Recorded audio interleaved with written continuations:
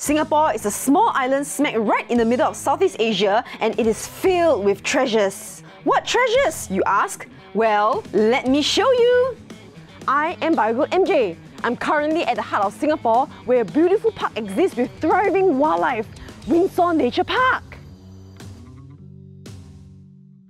This green buffer is also home to a wide variety of insects, other creepy crawlies and the food web that they support. So let's think small this episode. Insects create the biological foundation of all land-based ecosystems. Needless to say, they are really important to the world, but they are also often misunderstood and outright feared at times. All insects have bodies that are divided into three parts, the head, the thorax and the abdomen.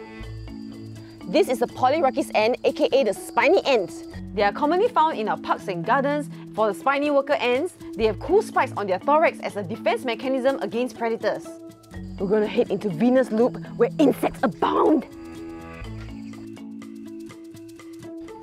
Insects also have six legs and some of them have wings. Look at this longhorn beetle resting here. Can you count how many legs it has? One, two, three, four, five, six. Yes, six legs. When you look at the caterpillar, you might wonder, are they insects?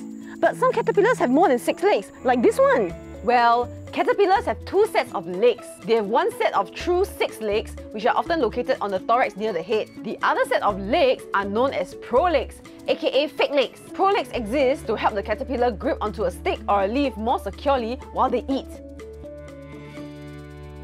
Come, we're turning in here to look for some insects. Insects are invertebrates, meaning that they don't have a backbone like us, but they have an exoskeleton, which is a hard outer covering that protects them. Having a hard outer covering means that when they grow, they need to molt, removing the old shell that is too small for them. Do you hear that? That's the sound of the cicadas. We're in luck. There's a cicada. It's a live one. Cicadas are not easy to find because of how well they camouflage. But if you come to nature areas like this, you can find their molt quite easily. We've already seen a few different kinds of insects, but did you know that more than 1 million insects have been identified all around the world? Some entomologists even estimated that there may be as many as 10 million species out there. Insects can be categorized into approximately 30 groups. Some of them may look so different that you might not even realize that they are insects, like this fluffy thing. This little fluff is actually a plant hopper nymph, and they look wildly different from their adult counterparts. Plant hoppers are true bugs, which are a group of insects known as Hemiptera. Adult plant hoppers can look like this, or this, or this. They've all lost the fluff of their youths and are going for a less fabulous look. People often use the words insects and bugs interchangeably, but bugs actually refer to a specific group of insects within the large insect family. They all have piercing, sucking mouthparts, and most of them feed on the juice of the plants. But some bugs, such as the assassin bugs, are actually carnivorous, so they go out to hunt other insects as their prey. There is a freshwater stream, which means there are pond skaters, which are actually part of the bug family Hemiptera. They find prey using the sensitive hairs on their legs to detect motions of insects falling into the stream. And once they find them, oh. As you can see, there's a bunch of flies hovering around me and that is because there's poop right in front of me. And I might have stepped on it. I hope not. Flies are part of the group Diptera, which only uses one pair of wings to fly because their hind wings have evolved into these cool, advanced structures known as halteres that help the fly to rotate its body and do all sorts of acrobatic movements while in the sky. There's a robber fly holding on to the tip of the leaf here and it looks really weird and now it's doing crunches. The robber fly is a very special kind of fly. Instead of relying on waste products of other animals, robber fly hunts for other insects which is why it is also known as the assassin fly.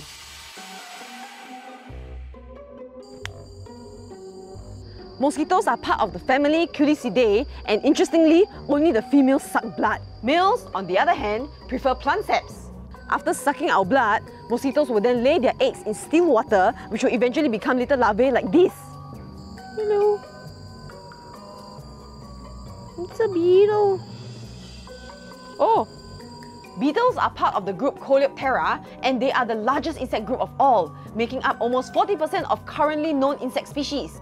Some of the fan favourites amongst the insects are from the beetle group. the majestic rhinoceros beetle, the equally amazing stag beetle, the ladybug, which is a beetle and not a bug, the tiger beetle, which is the fastest running insect in the world, and my favorite, the tortoise beetle. Oh wow! Look at this white hairy thing moving on the stem.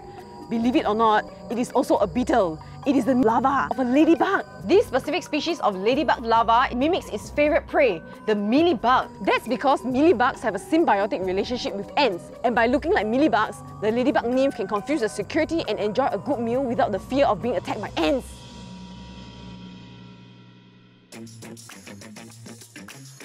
This beautiful insect camouflaging against the leaf is a katydid, which is part of the Orthoptera family, which also includes the crickets and the grasshoppers. This group of insects are known for their ability to jump. They have thick muscular legs that can launch themselves in the air. They can also produce sound by rubbing their wings against their hind legs, and this is called stridulation. Right in front of me, dangling from a silk, is a bagworm moth larva.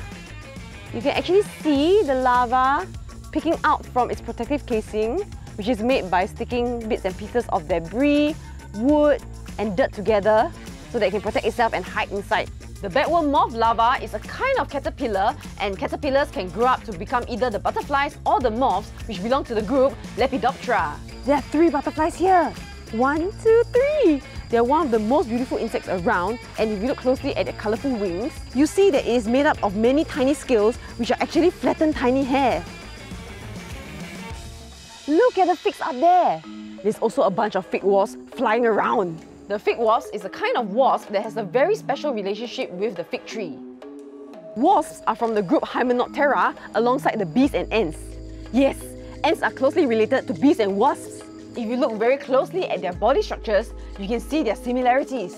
So right here, we have a little bee which stuffed its head inside the flower Bees and wasps are master pollinators of the world. It is said that bees alone pollinate 80% of all flowering plants, which includes many of the fruits and vegetables that we eat. We definitely need to thank them.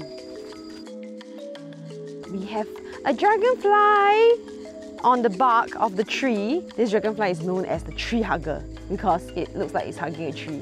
Dragonflies and damselflies are from the group Odonata, and the ancestors of this group appeared more than 300 million years ago, even before the dinosaurs. The Odonata group has two pairs of strong, transparent wings that can move independently of each other, and that allows the dragonfly to maneuver through the air easily, taking sharp turns and even hovering above a spot. Ooh! Ooh, a forest cockroach. Cockroaches are from the group Blattodea. Forest cockroaches can be quite varied. This is the dried leaf cockroach, which kinda looks like a dried leaf, and we also have the pill cockroach, which can roll itself up to protect its vulnerable underside. Believe it or not, termites are under the same group as the cockroaches, Blattodea, so they're essentially social cockroaches. We cannot talk about insects without mentioning the group Mantodea. That's the group that the praying mantises are part of. Praying mantis is one of the coolest insects you can find around. Not only do they own a pair of scythe-like arms to grab their prey, they can look really different to camouflage into different surroundings. Having said that, they are definitely savage eaters that can take on anything within their size range. I definitely won't want to be eaten by a mantis.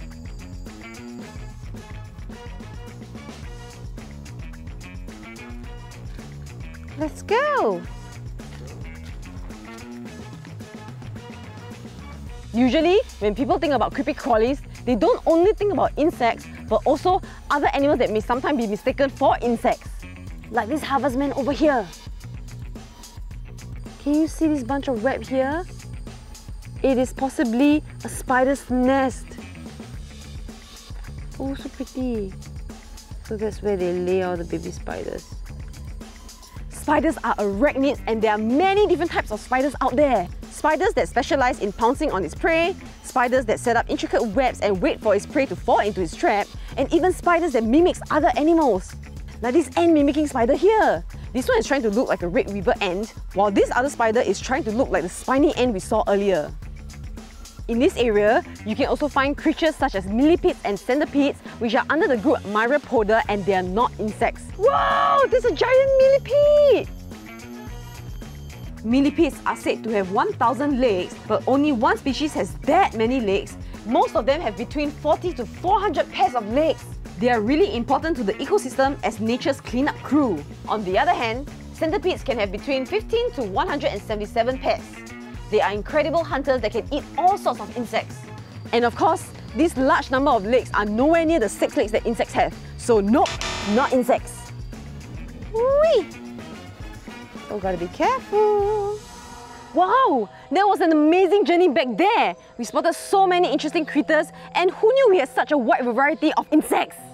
Well kids, as our exciting journey comes to an end, let's take a moment to cherish the precious treasures we've discovered today, our incredible wildlife. From the ones that fly, to the ones that crawl, from the ones that search for food, to the ones that wait for food, each of these treasures play an important role in the world. Together, they form an exciting world that would otherwise be pretty lacking. Remember to do our part and take care of nature so that we can continue to enjoy all these treasures around us. That's all for this season of Wildlife Treasure Hunt. Join me next time for more adventures.